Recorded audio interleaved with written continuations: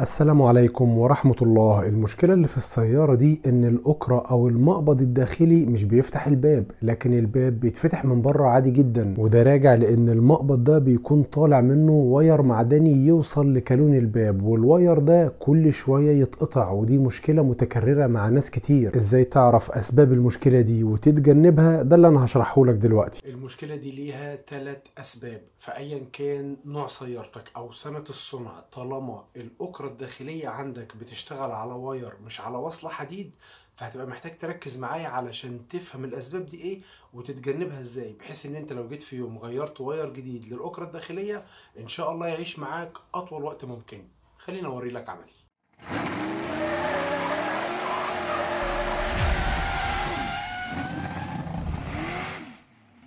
بتفك كل المسامير اللي بتكون ظاهرة قدامك في باب السيارة وبعدها بتتنقل للمسامير اللي بتكون متدارية ورا طبق بلاستيك وتفكها. والمسامير المتدارية دي أماكنها بتختلف من سيارة للتانية وبعد ما تفكها بتشيل الفبر اللي بيكون قافل على المراية من جوه وبعدها بترفع الفبر أو البلاستيك بتاع الباب بحرص علشان ما تكسرش حاجة. واعمل حسابك إن دايما بيكون في وصلات وفيش كهربية في ظهر الباب ولازم تفكهم الأول قبل ما تطلع فرش الباب. وبعد بعد ما تفكهم بتبعد الفرش عن الباب. وهقرب لك بالكاميرا علشان تشوف سبب المشكلة وهو إن الواير المعدني مقطوع. وزي ما قلت لك دي مشكلة متكررة في سيارات كتير وهوضح لك دلوقتي أسبابها. ده المقبض الداخلي وده الواير اللي اتقطع ومحتاجين نغيره. وطريقة تغييره بتختلف من سيارة للتانية. بالنسبة للسيارة اللي معانا إحنا هنكون محتاجين نفك الكالون بتاع الباب علشان نعرف نطلع الواير. لكن الأول هنكون محتاجين نفك الوصلة المعدنية اللي موصلة ما بين المقبض الخارجي بتاع الباب والكالون داخل الباب ودي بنعملها باستخدام مفك رفيع أو جفت على حسب المتوفر عندك. بعدها بتفك مسامير المقبض الداخلي وتطلعه من مكانه ولما تقلبه هتلاقي الواير التاني. هتطلعه الأول وبعديها تطلع الواير اللي فيه المشكلة. وبتفك مسامير الكالون اللي مثبتاه في الباب هتلاقي الكالون نزل في أرضية الباب. بتدخل إيدك تسحب الكالون من مكانه واحدة واحدة وبحرص وأنت بتسلك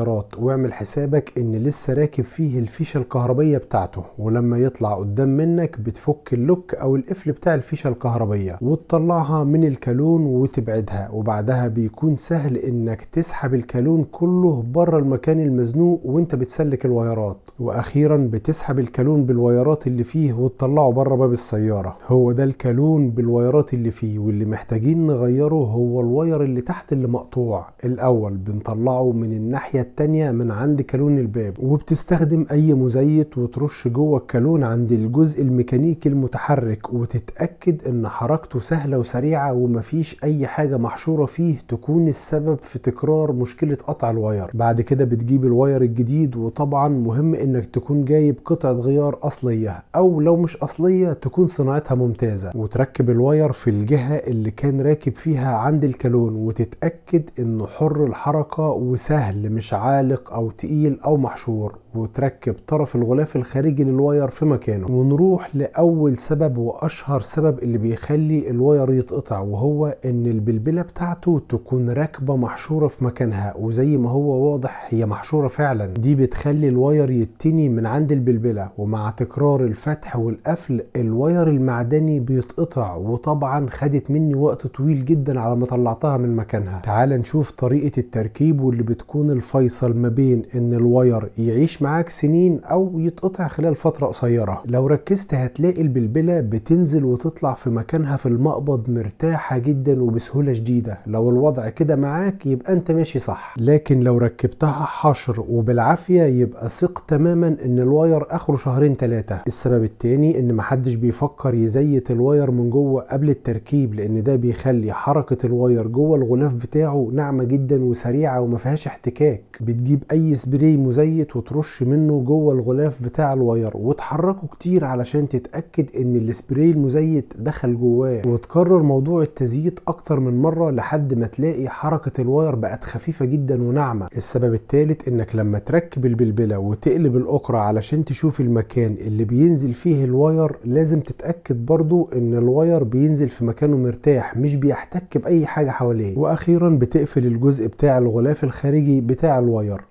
التلات أسباب دول لو ركزت معاهم وعملتهم صح وانت بتركب الواير يبقى ثق تماما إنه هيعيش معاك سنين بإذن الله. like و share للفيديو علشان الناس اللي بتعاني من مشكلة تكرار قطع الواير تبقى عارفة أسباب المشكلة دي وإزاي تتجنبها. وبعد ما تضغط على زر الاشتراك فعل الاشعارات عن طريق الضغط على علامة الجرس. بكده أكون وصلت لنهاية الفيديو ونكمل مع بعض الفيديو اللي جاي بإذن الله.